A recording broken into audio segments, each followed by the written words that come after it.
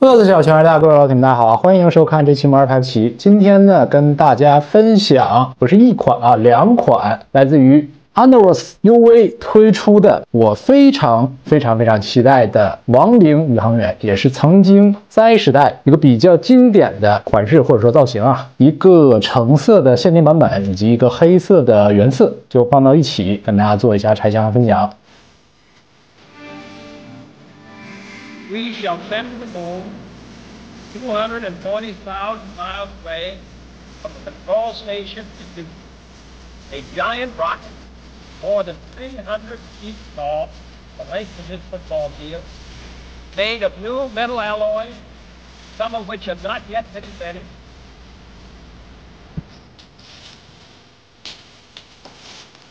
盒子部分呢，其实还是比较大一点的啊，比我想象中的要大。两款都是统一的造型，限量版本呢，除了加入了这个很鲜亮的橙黄色之外，另外在这有属于说是精苏狂喜吧，正常版本是不一样的啊。先从这个异色版本拆起啊。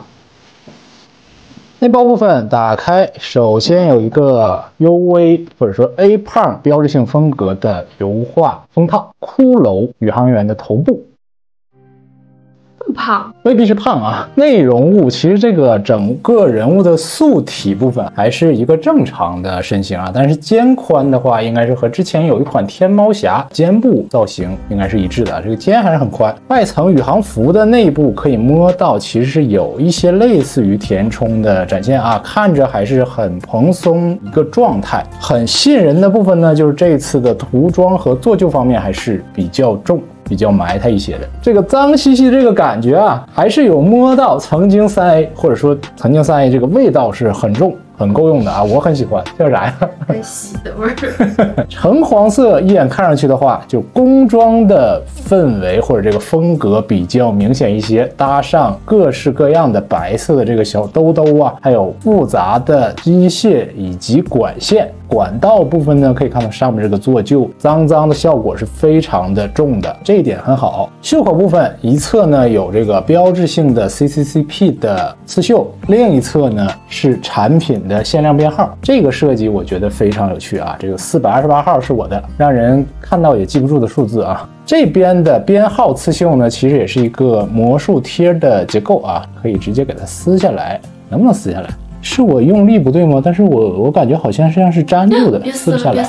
嗯，好像撕不下来。这样你不就可以换了吗？哦，有道理。撕下来之后，我就换一个八十八号之类的，定制一个啊。在苏联很吉利吗？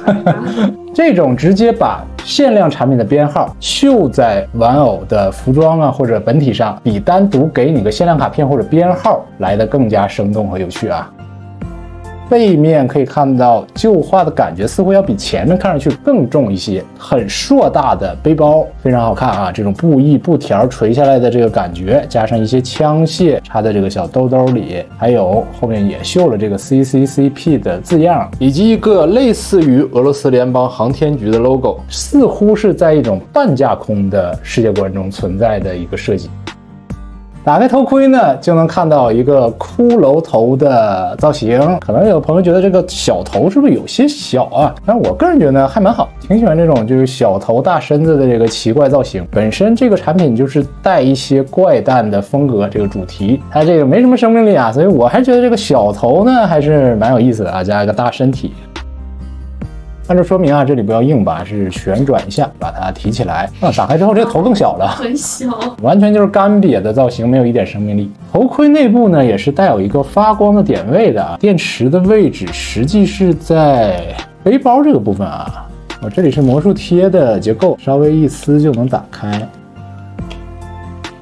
我又放入纽扣电池的啊，我觉得这个大小的话，是不是如果改良成一个七号电池的话，续航会更好一点？安装好电池之后，可以看到在背包上有这样一个小的孔洞，按下去的话，脖子的这个环状结构里是有一道幽幽的蓝光透出的。当然，我这里灯有点强啊，我觉得这个光效属于一个点睛之笔。头盔安上之后，就完全看不到了。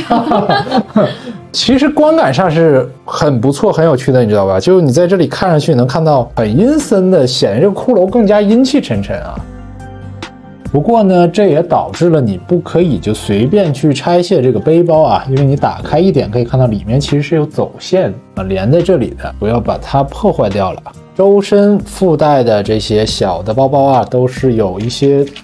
魔术贴的结构，所以可以自由的拆卸。有能力的朋友们可以自己再去打乱，重新组合。小包的内部呢，也都做了海绵的填充，所以看起来呢都是鼓鼓的。后背这个大的背包可以看到里面其实也做出了做旧的效果啊，当然这个扒开还是有点费劲的。值得一提的，这次配有四枚这个小的手枪啊。枪比较好的地方呢，它是有一个可动的这种上膛的机制，能看到里面有一个金属质感的子弹，弹夹呢也可以直接拆下来。上方一枚是做了一个金属色的涂装的，对于 UV 的产品来说，还是有更加细致的。替换手型掌心部分呢，做了一个这种深灰色，还原手套内部的防磨的一些结构。外侧呢也做了橙色和这个白色的，配合宇航服的这个不同的颜色，加上下面圈的这里，整体的做旧效果，个人觉得还是很好的。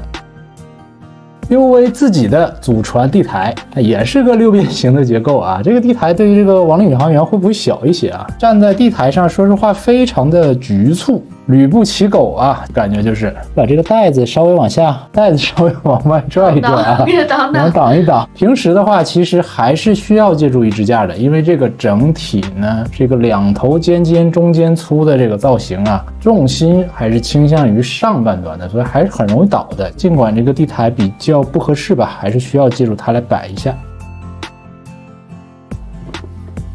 普通版本打开之后呢，同样油画风格的封套，这个就不多说了。里面的素体没有掰到位啊，所以。所以会有一点长短脚的感觉，这里的话我还需要慢慢去调整。造型部分呢和异色版本自然是没有什么区别的，整体是用了一个黑色的暗影风格。讲道理，我会觉得似乎黑色的普通版本好像在宇航服的表面做旧效果会比橙色的更重一些，当然也可能它这个黑色不耐脏。脏脏的旧画在黑皮的衬托下呢，就更像是沾了一层灰迹。整体这个管子的部分部分呢，在黑颜色的基础上，也做出了一些像是红色的漆面磨损呢，或者说是类似于锈迹的感觉。包包部分也没有做出不同的颜色啊，这个两款呢就看自己的喜好了。啊，这个小地台是真的不爽啊，这个小地台真的不爽。其他配件方面也是两只替换的手型啊，造型以及涂装都是比较好看的。另外的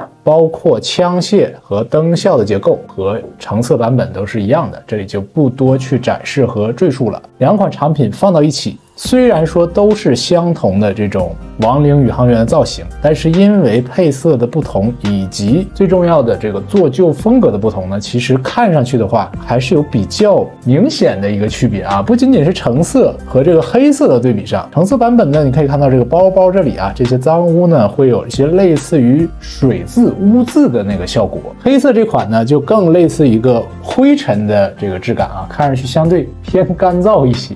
这个像下过水。水，呃，这个像是走过沙，进过矿。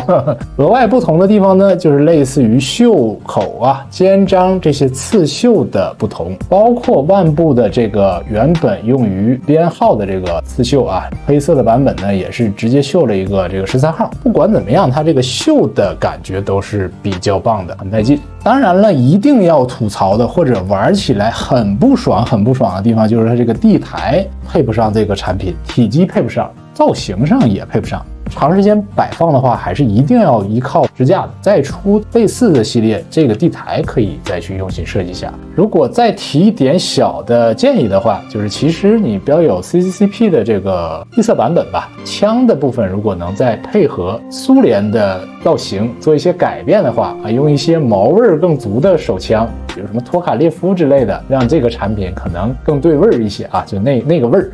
虽然说橙色是一个五百体的限定版本，但是其实放到一起的话，我是觉得啊，两个颜色我都很喜欢。比较有趣的是啊，最开始公布这个玩具的时候，大家都在传橙色是一个正常版本，黑色是一个异色版本。当时我就在想，哎呀，还是黑色好看呢，还得黑色。你看这个亡灵宇航员。